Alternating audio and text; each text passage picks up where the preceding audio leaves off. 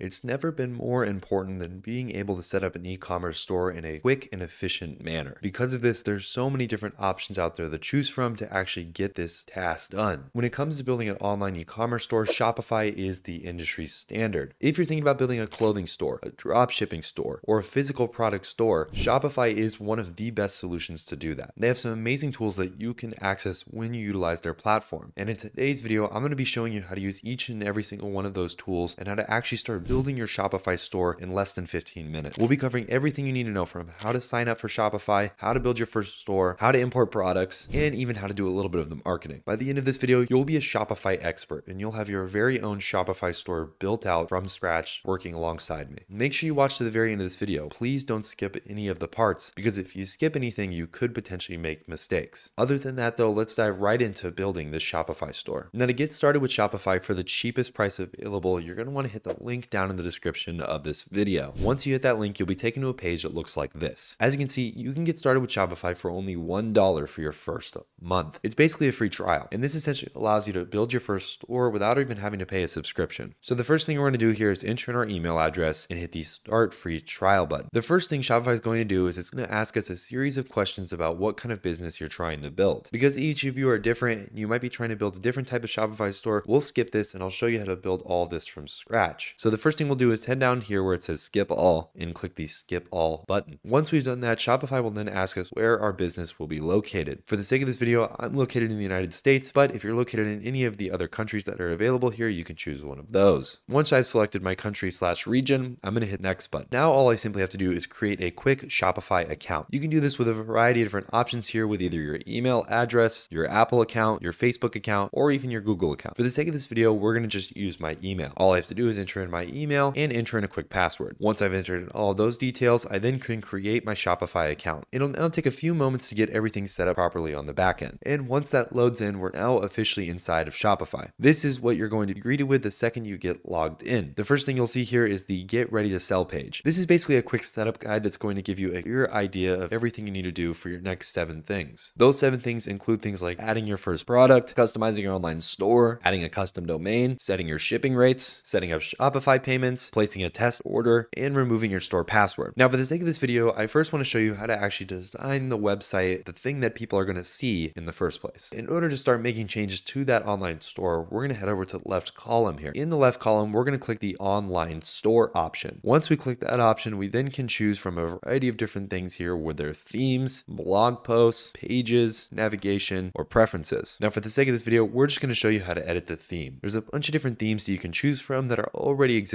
and great starting points. But we're basically just going to start with the basic theme, which is the Dawn theme. All we have to do now is head over to the right here and click the customize button. Once we click the customize button, we'll then be inside of this page here. This is where the magic happens. Now, the first thing you want to do when you're building your Shopify store is add products to it in the first place. The way we can go about doing that is heading over to the products tab the left right here. Once we're in the products tab, we then can click add product. Once we click that button, it will then give us an option to start customizing everything we could possibly think of. The first thing, for instance, is this short sleeve t-shirt description that they have as an example. We'll change this over to just t-shirt. Once we've done that, we can then go into the description here, or we can just generate text ourselves. We can just say t-shirt, cotton, comfort, or something like that, and then hit the generate button. Once we've done this, it will then generate a quick, easy made description that we can just copy and paste directly into our description. As you can see, we now have a title of the product and a description. Now we need to go ahead and add some photos so people actually know what they're buying in the first place. We'll head down here to where it says media, hit upload new, and then we can start adding images of our product. First things first, we'll add images of this t-shirt right here. As you can see, I just uploaded those. It'll take a short moment to get them loaded up. And now we officially have our product photos inside of our media tab. We can also choose a quick little category here, and then obviously mess with the pricing. Now for pricing, this is fairly important. You're gonna wanna consider how much it actually costs to make these t-shirts in the first place, and of course the profit margin that you want to achieve. Let's say for instance, it costs us six bucks per t-shirt to actually make them and start selling them in the first place. If that's the case, we can say that the cost item down here is $6. We'll go up to the price here, and let's say we want a $20 profit margin. Now for the actual profit margin, it can be anything we'd want it to be. And of course, it also heavily depends on the type of value that you're giving from the product itself. We'll price this t-shirt at $30. As you can see down here, it auto calculates our profit and our margin, which is about 80%, which is pretty good. Once we've had all the pricing figured out, we'll then go down to inventory. We'll definitely want to click this track quantity quantity button. The reason we want to click this is so that way we don't start selling something even if we're out of stock of it. If that was something that you wanted to implement, you can go down to your shop location here and click one of these. You can also even add something like an SKU or a barcode, which is super helpful for keeping track of inventory. The next thing we'll do here is shipping. Now for the weight of this, we could say it's about one pound, just as an example. And then you can also even add variants. This is super helpful if you have different things like sizing or colors. And then that's pretty much all we have to do. We then can go down here to the bottom right and hit the save button. All we have to do now is go back to our products tab and see that our t-shirt is officially listed. Next thing we want to do is customize our online store. All we have to do to customize our online store is head over to the online store category, hit the themes option, and then hit the customize button. If you guys want a full breakdown on how to customize your Shopify theme and of course edit your online store, you also can check out some of our other videos that we have posted to this channel. They'll show you everything you need to know from the drag and drop functionality that the store editor has, even the custom features that they also allow you to utilize.